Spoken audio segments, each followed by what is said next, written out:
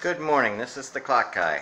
Uh, I thought I'd try something different this time. Normally I just show you some of the clocks I have in my collection.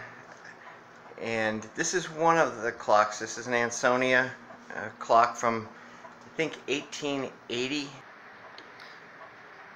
So I've laid out all the pieces to the Ansonia mantel clock on the table in front of me.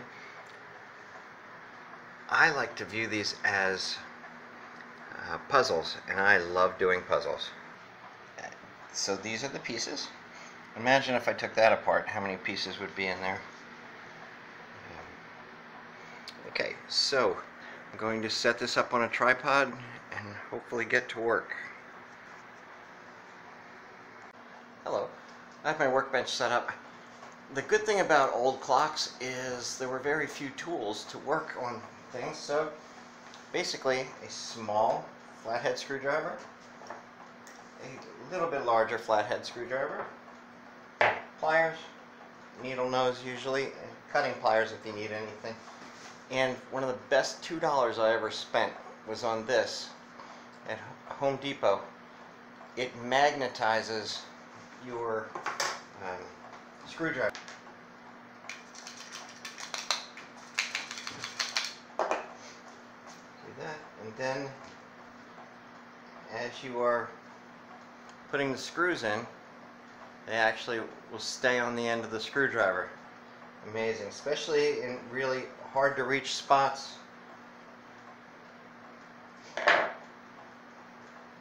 Not magnetized. Magnetized. so I will be getting to work and most likely go into fast forward motion to I'm not 100% sure how to reassemble this but uh, if I'm not sure I generally take pictures except this was very self-explanatory. So as I took it apart I realized certain screws fit in certain size holes so I think it's going to be easy. You might see me fumble and think a little bit but um, it should be hopefully a um, no-brainer so let's get to work.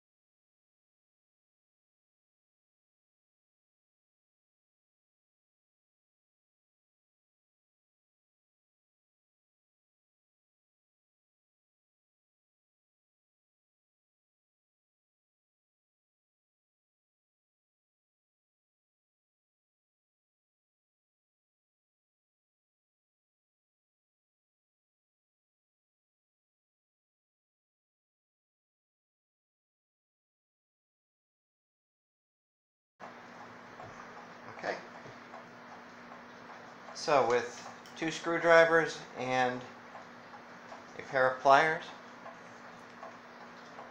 we have ourselves a very usable and beautiful clock. Yeah. This is the clock guy saying thanks for watching.